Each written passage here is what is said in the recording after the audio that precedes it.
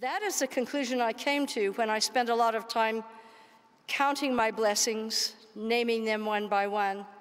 I came to the conclusion that blessings bring contentment and joy and a desire to share and a desire to learn from people who know things that I never imagined. In the New Testament, there's a letter from the Apostle Paul to his beloved disciple, Timothy. I don't know if he called him Timothy or Timmy or Tim Tim. I don't know. I, these are, you know, there are a lot of um, things we don't know yet. but uh, I encourage you to read all of the first Timothy chapter 6 because I don't have time to do that now. I could if I wanted to, but they kind of watch the time and cut me off when it's. So, here are just a few verses. 1 Timothy chapter 6, verses 6, 7, and 8. But godliness with contentment is great gain. For years, I have been fascinated by that word and feeling, contentment. What is it to be content? For we brought nothing into this world, and it is certain we can carry nothing out. Except there was this rich guy, and he hadn't been very nice in his life, and he decided that he would take uh, his massive collection of gold bars with him when he got over there and Peter met him at the gate, I don't know if this is true, if there's a gate and if Peter's there, but anyway, the story goes that Peter said, what's in, what's in your big case there? And he opened it. Why would you bring pavement?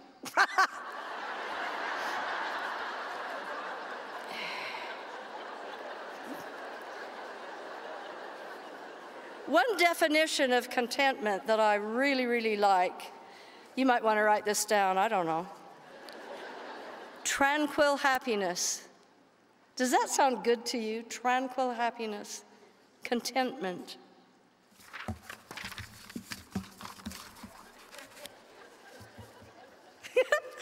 I practiced. The practices didn't go well. President George Albert Smith, I was impressed with the idea that our Heavenly Father loves us and that his commandments were not intended to deprive us of true pleasure, but rather, if observed, would add to our peace and contentment here and prepare us for eternal happiness. I love that quote.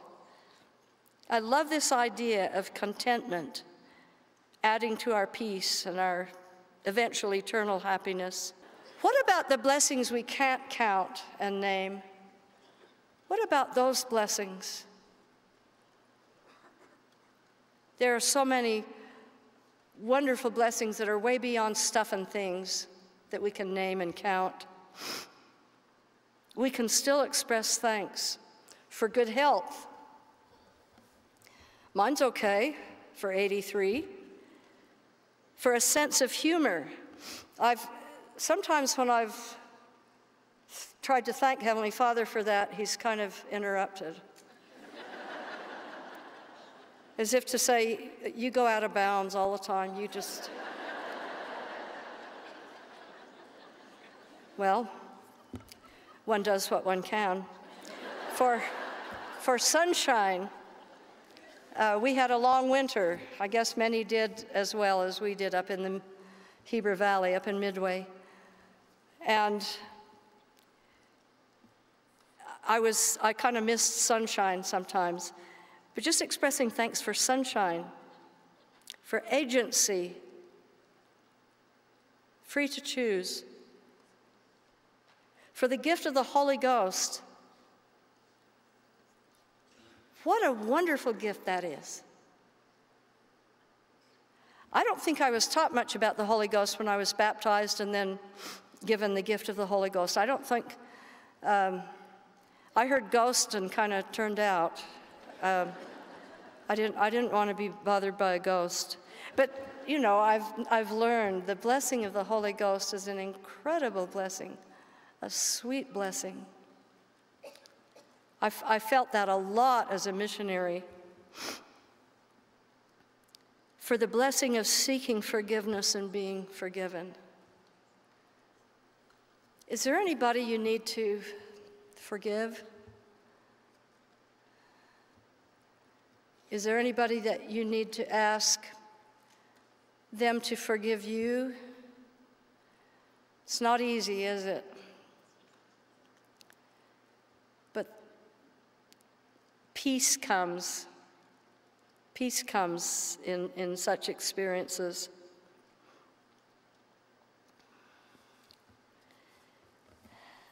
I think of a dear friend named Sukiman in Indonesia. He built a little home out of bamboo for him and his family to live. And whenever the typhoons come, it just tips over and they just put it back up and maybe, like I said, change the view a little bit. Um, there was a news clipping from California that several of us missionaries received copies of. People were cut down to 120 gallons of water per day.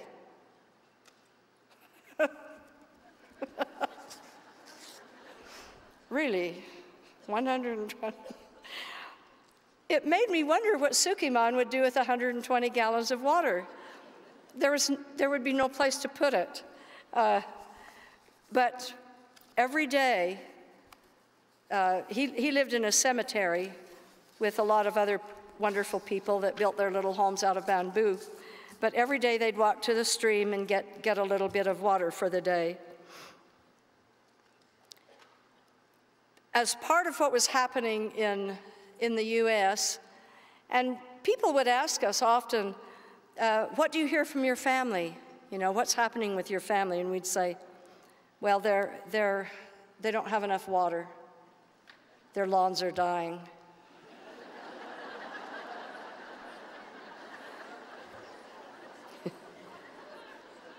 Sukiman asked if he could send water to somebody. I